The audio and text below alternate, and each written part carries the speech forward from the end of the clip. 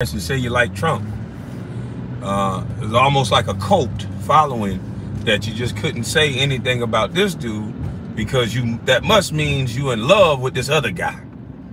And it's like no matter what you said to these people, hey, you know, I'm I'm a guy who likes policies. What is he gonna do? Ah, he's just gonna build back better. These niggas, I done heard every cliche from these bourgeoisies that Joe Biden has said. I've heard it from these people on Facebook.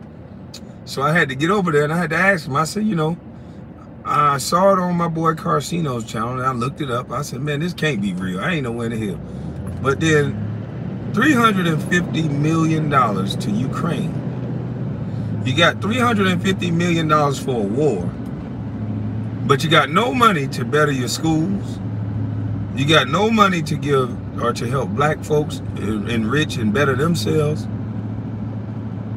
You got no money to help with the safety of black folks.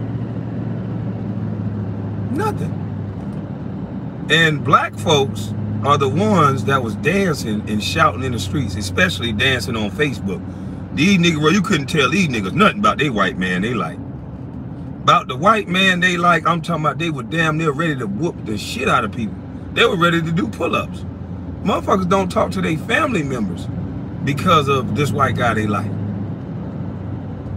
Now all I got to do is all I want to know is there's 350 million for Ukraine, 350,000 if you walk across the border and you ain't black.